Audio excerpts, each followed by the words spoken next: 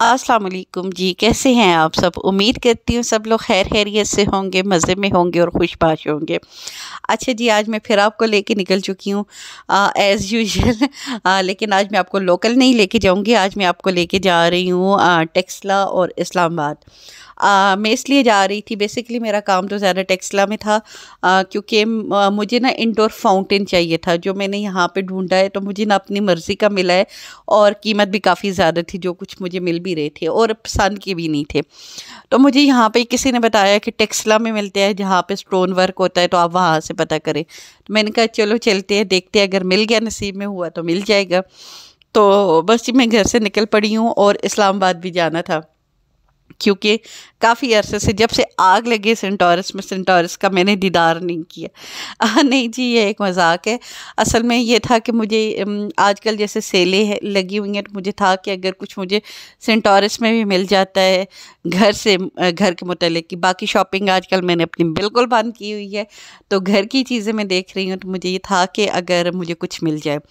तो बस ये उसके लिए मैं निकल पड़ी हूँ। साथ साथ आप देखेंगे क्या क्या हुआ है किस तरह हुआ है वो तो आपको नज़र आता ही रहेगा। लेकिन बात मैं आज आ, अलग टॉपिक पे करूँगी क्योंकि मैंने कुछ दिन पहले अपनी एक वीडियो में आपसे पूछा था कि अगर आप लोगों को जानना हो कि थ्रू आउट मेरी जर्नी कैसी रही है घर बनाने की और क्या मेरे से गलतियाँ हुई हैं। क्या चीज़ें मैंने इसमें अच्छी की हैं मैं आपके साथ ज़रूर अपना एक्सपीरियंस शेयर करना चाहूँगी और मेरा दिल भी कर रहा था। लेकिन आ, ऐसे नहीं था मुझे था कि मैं आराम सुकून से एक एक पॉइंट के ऊपर सोच के अच्छे से आपसे बात करूँगी। लेकिन मेरी एक बहन है शुमाइला काफ़ी उन्होंने मुझे डीएम कर कर के और कमेंट भी करती रही हैं कि आप ही आप ज़रूर शेयर करें, मुझे जानना है। तो लेकिन मैं उनको ये कह रही थी कि थोड़े दिन ठहरे तो वो थोड़ा मुझसे खफा हो गई तो प्लीज़ आप खफा ना होइए। मतलब मैं आज ही आपसे शेयर कर देती हूँ। वैसे तो खैर मैं ख़ुद इतनी कोई बड़ी वो नहीं हूँ। मुझे मेरे से तो चीज़ें बहुत ज़्यादा ख़राब होती हैं। लेकिन आपका बहुत शुक्रिया फिर भी आपने इतनी आ, मुझे इज़्ज़त दी। आपने कहा नहीं मुझे आपसे जानना है। तो मैंने कहा चलें मैं आपके साथ फिर भी शेयर कर देती हूँ। अच्छा जी, सबसे पहले तो ये है ना कि इस चीज़ के ऊपर तो हम सब का एक मुतफ़ा राय है ना कि जो ईंटों और पत्थरों से घर मकान बनता है, वो आपको मर्द बना के दे देता है, लेकिन उस मकान को घर औरत ही बनाती है। अब औरत उसको अपने सलीके से, अपने तरीके से बनाती है, उसमें कुछ रंग भर देती है, अपने अपने हिसाब से हर औरत अपने घर को बहुत अच्छे से सजाती है और उसका ख्याल रखती है। तो आ, मेरा सबसे पहला जो पॉइंट है कि अगर आप घर बना रहे हैं जैसे मैं अपने केस में आपके साथ शेयर करूँगी कि घर जब बनाने का हम लोगों ने आ, फ़ैसला कर लिया कि अब हमने बनाना है तो सबसे पहले मुझे यह है कि मैं शॉपिंग की बहुत शौकीन हूँ ना कपड़ों की स्पेशली मुझे बहुत अच्छे लगते हैं कपड़े। मेरे पास जहाँ से भी पैसे बचते हैं मैं कपड़ों के ऊपर लगा देती हूँ। ये बहुत बुरी आदत है बिल्कुल भी नहीं करना चाहिए लेकिन मेरे से नहीं रुकता हाथ। तो मैंने सबसे पहले, सबसे पहला जो काम किया है, मैंने अपनी वो वाली शॉपिंग कंट्रोल की है। ठीक है? अल्लाह का शुक्र है, इस मामले में मेरी ये एक बात अच्छी है कि जब मैं दिल से कह देती हूँ कि ये काम मैंने नहीं करना तो मैं रुक जाती हूँ। तो मैं आपको भी यही मशवरा दूँगी, अगर आपके पास थोड़ी बहुत भी एक्स्ट्रा कहीं आप लगा रहे हैं, आपको जिस चीज़ के बगैर आपका गुजारा हो सकता है, मेरे ख्याल से वो थोड़ा सा आप पीछे कर दें। क्योंकि आपको पता है आजकल बहुत ज़्यादा महँगाई का दौर है। और इस दौर में अगर आपको अपना घर के साथ थोड़ी बहुत सजावट करनी है या कुछ करनी है तो पैसे तो लगते हैं देखें ये तो है। तो अब कानून का ख़जाना तो है नहीं कि हम लोग शौक़ भी पूरे करें और फिर कहें कि हम लोग घर की चीज़ें भी इस तरह लेके चलेंगे तो ऐसे नहीं होता। तो मैंने जी सबसे पहले उसका बेस्ट ऑप्शन जो मेरे ऊपर काम करता है, मैंने कपड़ों वाली दुकानों में जाना ही छोड़ दिया। ना देखूँगी तो ना ख़रीदूँगी, ठीक है? तो मेरा आप के साथ भी ये मशवरा है कि आप लोग फोकस रहें। अगर तो आप लोगों ने जो काम करना है तो आप उस चीज़ के ऊपर ज़्यादा फोकस रहें। बजाय कि इर्द गिर्द के आप शॉप में घुसेंगे तो ये हम औरतों की आदत होती है कि हम हाँ हम कोई ना कोई चीज़ उठा के ले आते हैं। तो मैंने सबसे पहले यहाँ से अपने आप को कंट्रोल किया, फिर मैंने अपना एक बजट बनाया। और उस बजट में जो मेरे पास एक्स्ट्रा बचते थे या कहीं मैंने कुछ कमेटियाँ डाली हुई थी या कुछ भी इस तरह की तो वो चीज़ें मैंने स्टेप वाइज डिवाइस कर डिवाइड कर ली डिवाइस कह रही हूँ डिवाइड कर ली। आ, मैंने देखा इसमें सबसे पहले मुझे जो चीज़ ख़रीदनी थी जो सबसे बड़ी जो मेन ख़रीदनी थी मुझे रग्स क्योंकि मैंने सारे घर में मार्बल और टाइल्स लगाए हैं तो मुझे था कि मैंने रग्स और कारपेट मतलब जो रग्स होती हैं वो देखनी है। तो मैं आपको याद होगा लाहौर जब गई थी तो मैंने वहाँ से ख़रीद के ले आई और मैं शुक्र अदा करती हूँ कि उस वक्त की कीमतों में और आज की कीमतों में ज़मीन आसमान का फ़र्क है। हालाँकि सात आठ महीने पहले की बात है लेकिन आप सबके सामने पाकिस्तान का हालात है पाकिस्तान की इकॉनमी किधर जा रही सबको पता है तो मतलब वो तो खैर एक इलादा बहस है। तो खैर मैं ये कहूँगी कि आ, मैंने सबसे अच्छा काम जो अपनी मतलब इस सारे उसमें किया है कि मैंने वो रग्स लाई हैं। मैंने सारे घर की लेके आई हैं। आप खुद सोचिए अगर मैं आई लेने लगती तो मुझे लगता है मैं आधी भी ना ले पाती क्योंकि महँगाई इतनी ज़्यादा हो गई है। अच्छा ये काम जब मैं करके रही हूँ तो सेकंड मैंने क्या किया कि मैंने आ, अच्छा इसमें मैंने मैंने एक प्लस पॉइंट कह लिया और एक मेरा आप माइनस कर दे क्योंकि थोड़ा सा यहाँ पे मैंने एक्स्ट्रा ये कर दिया कि सारी मैंने सर्दियों की बेडशीटें ले ली थी। ठीक है सर्दियों में, अब आपको पता है पाँच बेडरूम बन रहे हैं। तो पाँच बेडरूम्स के लिए आपको चाहिए तो होती हैं बेडशीट्स और ये, इस तरह की चीज़ें। और मुझे तो है कि अच्छी वाली हों। और मैं देखती रही हूँ साथ में कि सेल कब लग रही है। जब जब सेल लगती थी तो मैं उस वक्त वो वो चीज़ें साथ साथ ख़रीदती रही हूँ। क्योंकि आपको पता है, ब्रांड्स की कीमतें काफ़ी ज़्यादा होती हैं। तो मुझे कोई जल्दी तो थी नहीं कि मुझे जल्दी चाहिए तो मैं आराम सुकून से देखती रही हूँ। और जिस ब्रांड का मैं सबसे पहले उसको सर्च करती थी नेट के ऊपर, अच्छे से मैं आराम से देखती थी बैठ के नेट के ऊपर। और जो चीज़ मुझे पसंद आती थी, फिर मैं लाइव जाके देखती थी। और अगर वो लाइव भी उतनी अच्छी लग रही हो और कीमत भी मुनासिब हो तो मैं फिर ले लेती थी। तो इस तरह मैंने दूसरी चीज़ मैंने अपने साथ की, ये वाली, आप कह सकते हैं। कि जो बेड शीट्स और इस तरह की चीज़ें पिलो हो गए साथ में मतलब इसी से रिलेटेड जो चीज़ें। फिर आ जाते हैं क्रॉकरी पे। अच्छा क्रॉकरी का मेरा सीन ये था कि जो क्रॉकरी है, मैंने बहुत सारी, मैं साथ साथ लेती रहती हूँ। मेरी ऐसे भी आदत है। जब भी मैं ग्रॉसरी के लिए जाती थी तो मैं अपना बजट इतना रखती थी कि पाँच से दस हज़ार मेरे पास बच जाए और मैं कोई एक चीज़ या दो चीज़ें ले लेती थी। तो इस तरह करते करते मेरे पास काफ़ी ज़्यादा क्रॉकरी हो गई थी। लेकिन देखिए, या कुछ ऐसी चीज़ें जो मुझे चाहिए थी, फिर मैंने वो ली, ठीक है? तो यहाँ तक आते आते मेरे साथ हो गया मतलब अच्छा खासा मेरा काम कह रहे हैं, कम हो गया था। अब मेरा जो काम था, मुझे लेने से डेकोर आइटम यहाँ पे मैंने गलती की है। जो मैंने गलती की अब वो मैं आपको बताती हूँ।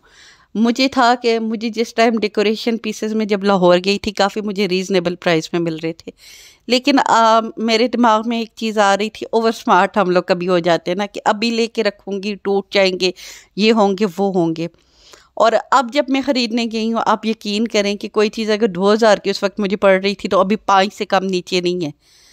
मतलब ये हालात हो गए हमारे मुल्क के और खैर इस बात पे मैं क्या ही रहूँ और क्या ही वो करूँ, क्योंकि ये सब के साथ हो रहा है। तो लेकिन डेकोरेशन पीसेस का मेरे नज़र में एक ये भी है कि ये कोई बहुत ज़रूरी चीज़ नहीं है कि आपने मतलब देखिए आप बेड खाली तो नहीं बिछा सकते ना। बेड शीट्स के बगैर भी गुजारा नहीं है रक्स के बगैर भी गुजारा नहीं क्रॉकरी के बगैर भी गुजारा नहीं, लेकिन डेकोर आइटम के बगैर आप शुरू में रह सकते हैं, ठीक है? ये कोई ऐसा मसला नहीं है कि आपने लेने ही लेने हैं। मैंने खैर फिर भी लिए हैं। क्योंकि मुझे ये लग रहा था कि अब अगर मैं नहीं लूँगी तो हो सकता है कि आगे जाके और ज़्यादा कीमतें बढ़ जाएँ या कुछ इस तरह। तो मैंने तो खैर ले लिए, लेकिन आप कह सकते कि जितना मेरा था, मैंने हंड्रेड पर, हंड्रेड परसेंट चीज़ें अभी भी नहीं ली। मैंने फिफ्टी परसेंट चीज़ें ली हैं। और वैसे भी आप डेकोर पीसेस का ये होता है कि जब आप सेटिंग करते हो तो आपको तब पता होता है कि कौन सी चीज़ अब यहाँ पे अच्छी लगेगी, ये हमें लेनी चाहिए। तो उसका ये मेरा माइंड सेट हमें, हमेशा से ये था और इसी चीज़ में मैंने थोड़ा सा नुकसान भी खाया है। अब आ जाते हैं, मैं अपने नेगेटिव पॉइंट पे आपको आती हूँ कि मैंने गलतियाँ कहाँ से की? जैसे मैंने आपको बताया, ये डेकोर पीसेस कुछ जो थी मेरे माइंड में क्लियर चीज़ें कि ये तो मैंने लेनी ही लेनी है। तो वो चीज़ें मैंने जब उस वक्त मुझे अच्छी कीमत पे मिल रही थी तो मैं ले लेती, लेकिन मैंने नहीं ली। सबसे पहली गलती है दूसरी गलती बेडशीटों के मामले में एक्स्ट्रा में स्मार्ट हो गई थी, मैंने ज़्यादा सर्दियों की ले ली। अब जब तक मेरा घर बनेगा सर्दियाँ जा रही होंगी तो मुझे गर्मियों की चाहिए होंगी ज़्यादा। अब सर्दियों और गर्मियों की बेडशीटों में फ़र्क तो कुछ नहीं होता कॉटन ही होती है लेकिन आ, ये होता है कि रज़ाई के कवर साथ में जैसे मैं लेती हूँ सर, सर्दियों की बेडशीटों की तो उसमें ज़्यादा मेरी ये होती है कि जो फिटेड शीटें होती है प्लेन शीटें होती हैं वो मैं लेती हूँ। और गर्मियों का ये होता है कि वो प्रिंटेड होती हैं तो साथ में सिंपल कंफर्टर या कुछ भी थ्रो वगैरह ऐसी चीज़ें। तो ये थोड़ा सा मेरे से गलती हुई है लेकिन आ, फिर भी मैंने मिक्स मैच करके ले ली थी। उस वक्त भी मैंने अपना इतना दिमाग दौड़ाया है कि थोड़ा सा मैंने ये किया लेकिन मुझे यूँ लग रहा है कि आ, वो शायद मैं एक एक लेती तब भी गुजारा हो जाता। है तो चलिए कोई बात नहीं इन ज़िंदगी रही तो अगले साल काम आ जाएगा। और ये वाली जो गलतियाँ ये मैंने की हैं और मैं आपसे यही कहूँगी कि अगर आप लोग भी मेरी तरह शौकीन है कि रज़ाई के कवर भी साथ हो और बेडशीट भी साथ हो, ये इस तरह की तो कभी भी आप जहन में ये ना रखिएगा कि जैसे हम लोगों का क्लियर था कि दिसंबर में हम लोगों का घर बन जाएगा और अभी आपको पता है फरवरी का भी एंड होने वाला है तो कहीं मार्च में जाके मैं शिफ्ट होंगे। दो महीने का मार्जिन आप लोग जहन में खुला लेके चलिएगा। अगर आप लोगों के जहन में ये चीज़ हो कि गर्मियों के हिसाब से हमने सारी चीज़ें लेनी है, नहीं। क्योंकि जब आप शुरू में होते हो तो आपके पास लाजमी बात है बजट आपने एक सेविंग की होती है तो वो सेविंग आपके पास होती है तो वो आप इस तरह इन्वेस्ट करो कि दोनों सीज़न में वो चल जाए। अब आपको मेरी शायद बात समझ आ रही होगी कि मैं क्या कहना चाह रही हूँ। और हाँ जी प्लस पॉइंट तो मेरा सबसे बड़ा ये है कि मैंने शॉपिंग कपड़ों, अपने कपड़ों के ऊपर इतना मैंने कंट्रोल किया है और इस चीज़ के ऊपर मैं बहुत खुश भी हूँ क्योंकि इन मुझे ये लगता है सबको देख के कि अब मैं इंशाल्लाह आगे कपड़ों के ऊपर कंट्रोल कर सकूँगी, क्योंकि ये मेरी, आप कह सकते हैं, कमज़ोरी है। ना मुझे जूतों का शौक़ है, ना मुझे ज्वेलरी का किसी चीज़ का नहीं है, लेकिन कपड़े मेरी बहुत बड़ी कमज़ोरी है। लेकिन अब अगर मैंने कंट्रोल अपने आप को कर लिया है तो इन मुस्तबिल हाँ में हम लोग ज़रूर कंट्रोल कर लेंगे, मैं मतलब कर लूँगी। अच्छा जी, चलें जी टॉपिक का ख़त्म हो गया। आपको मेरी बातें अब अच्छे से समझ आ गई होंगी। शुमाइल अब आपको कोई गिला नहीं होगा कि मैंने आपके साथ अपना एक्सपीरियंस शेयर नहीं किया। तो अभी मैंने आपके साथ सारा अपना एक्सपीरियंस शेयर कर दिया कि ऐसे ऐसे मैं लेके चली हूँ चीज़ों को। ऐसे ऐसे स्टेप में मैंने हर चीज़ को डिवाइड किया। और ये नहीं है कि एक बार में सारा जाके, नहीं, आप आहिस्ता आहिस्ता, आराम आराम से स्लोली आप नेट के ऊपर सर्च करें आप हर जगह देखें, जहाँ पे आपको बेहतर चीज़ मिलती है। क्योंकि टाइम का तो आपके पास कोई मसला ही नहीं है ना। टाइम तो आपके पास खुला है तो आप आराम से, जहाँ से आपको चीज़ अच्छी मिलती है, आप अपने हिसाब की वहाँ से लें। अच्छा जी, अब आ जाते हैं वीडियो की तरफ़। तो मैं सेंटोरिस गई हूँ और आ, मैंने फाउंटेन भी देखा है वहाँ पे। तो एक आध मुझे अच्छा भी लगा अब देखें। आ, मुझे उस वक्त समझ नहीं आ रही थी हस्बैंड साथ नहीं थे तो उनको मैंने दिखाया है उनको भी अच्छा लगा है तो हो सकता है हम लोग एक दो दिनों में मंगवा ले वो। तो वो तो चले हो गया मसला हल उसके बाद मैं चली गई सेंटोरस और सेंटोरस में मैंने जैसे मैंने कहा सेल लगी हुई थी और जैसे मैंने आपको कहा कि मेरे पास आगे गर्मियों का तो इस तरह कुछ नहीं है तो मैं द लेलन कंपनी जो मेरी ऑल टाइम फेवरेट है आ, मतलब बेडशीट्स के लिए और आइडियाज़ इन दोनों से मैंने बेडशीटें ले ली अच्छी मुनासिब। अभी मैंने बहुत ज़्यादा महँगी वाली नहीं ली है क्योंकि वही बात है, वैसे भी बच्चों का घर है, आपको पता है, और दूसरा ये चीज़ें चेंज होती रहती हैं तो इसलिए वो साथ में मैंने ले ली। तो बस, ये सब किया कॉटन की लिए वैसे भी मुझे कॉटन की अच्छी लगती हैं तो जो जो मैंने लेना था मुझे मिल गया, और अभी भी आप अपने बहन के कमाल देखिए फिफ्टी परसेंट ऑफ़ थी हर जगह पे। मैं कपड़ों की एक दुकान में नहीं घुसी हूँ टाइम भी मेरे पास बहुत था, लेकिन मैं एक दुकान पे नहीं घुसी हूँ।